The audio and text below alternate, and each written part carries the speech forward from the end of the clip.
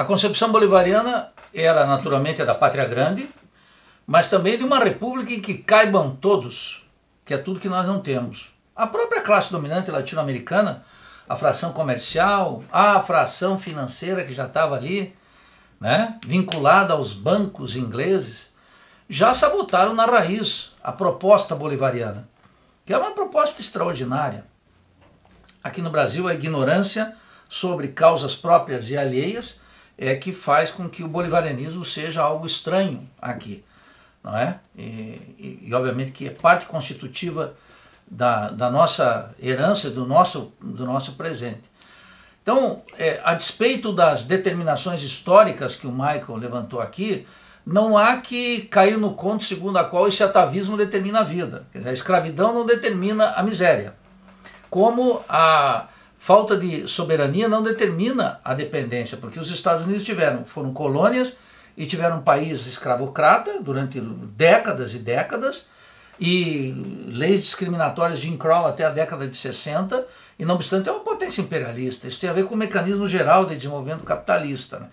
As determinações históricas, repito, existem. Não há um atavismo aí que faz com que o Brasil tenha essa configuração.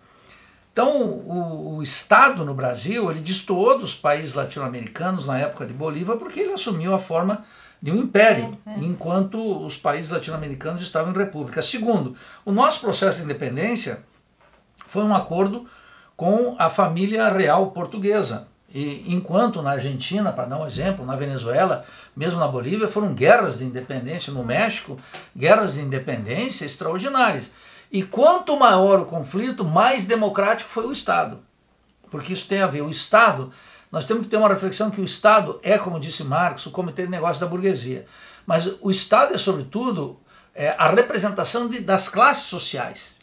E naqueles países onde as guerras de independência foram mais agudas, e, e naturalmente foram mais agudas sob o comando de Simão Bolívar, e no caso do México, de 1810, um, um, um, em, em 1820, um processo extraordinário, ela permitiu que as classes subalternas colocassem o seu bafo na cena histórica e aparecessem com feição própria e independente. Uhum. E é isso que é a péssima tradição brasileira. A tradição brasileira é de acordo por cima, de governos de conciliação e, portanto, o desespero, a, a, a, miséria e, sobretudo, a energia das classes populares para parir o futuro e construir um presente novo estão sempre abafadas, em nome de um ou de outro interesse, mas sempre contemplando os interesses estratégicos das classes dominantes e, e na atualidade, do imperialismo estadunidense.